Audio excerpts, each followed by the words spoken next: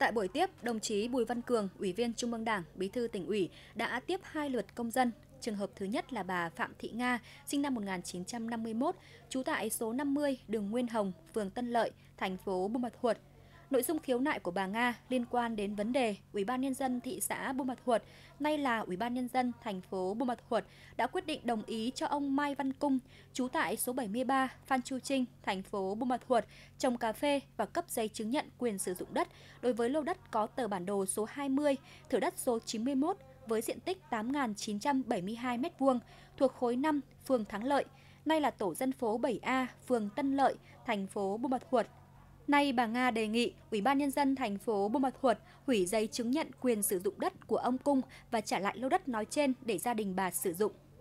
Trường hợp thứ hai là ông Iku Nie Siêng ở thôn E Nguôi, xã Chư Né, huyện Cà Đông Búc và bốn người đại diện cho các hộ dân có hợp đồng liên kết sản xuất kinh doanh cà phê với xí nghiệp cà phê An Thuận tại xã Chư Né, huyện Cà Đông Búc thuộc công ty trách nhiệm hữu hạn một thành viên cà phê Phước An khiếu nại về việc trong hợp đồng ký kết với các hộ nhận khoán vào năm 1997, các hộ dân đóng góp vốn 40%, công ty Phước An đóng góp vốn 60%, thời hạn là 25 năm. Sau khi hết hạn hợp đồng thì giá trị vườn cây được tính 50% cho các hộ nhận khoán, 50% cho công ty Phước An.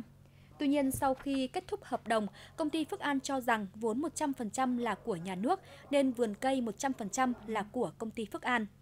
Để làm rõ các kiến nghị của công dân, đại diện lãnh đạo Ủy ban nhân dân tỉnh cùng các sở ngành địa phương đơn vị liên quan đã báo cáo giải trình cũng như đưa ra các hướng giải quyết theo đúng pháp luật. Phát biểu kết luận tại buổi tiếp công dân, đồng chí Bùi Văn Cường, Ủy viên Trung ương Đảng, Bí thư tỉnh ủy, chia sẻ những tâm tư, nguyện vọng của công dân. Trên tinh thần vì những quyền lợi chính đáng của người dân và không để người dân phải đi lại nhiều lần, đồng chí đề nghị ngay sau buổi tiếp công dân, các địa phương, ngành chức năng có liên quan ra soát lại vụ việc, các quy định và những văn bản có liên quan để giải quyết dứt điểm, không để các vụ việc kéo dài.